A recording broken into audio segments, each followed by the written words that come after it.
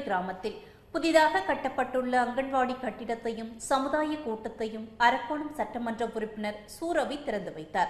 ராணிப்பேட்டை மாவட்டம் நெவ்விலி ஒன்றியத்திற்கு உட்பட்ட கிழந்துறை கிராமத்தில் ஒன்பது லட்சம் ரூபாய் மதிப்பீட்டில் கட்டப்பட்ட புதிதாக அங்கன்வாடி கட்டிடம் மற்றும் அறுபத்தி ஐந்து லட்சம் ரூபாய் செலவில் கட்டப்பட்ட சமுதாய கூடம் ஆகியவற்றின் திறப்பு விழா நடைபெற்றது.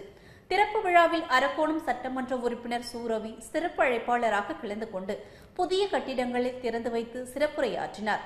விழாவில் வட்டார வளர்ச்சி அலுவலர்கள் சுரேஷ் சவுந்தரராஜன் அன்பரசு இலுப்பை தண்டலம் தொடக்க மேலாண்மை கூட்டுறவு வங்கி தலைவர் விஜயன் நாகவேடி தொடக்க வேளாண்மை கூட்டுறவு வங்கி துணைத் தலைவர் உட்பட பலர் கலந்து கொண்டனர்.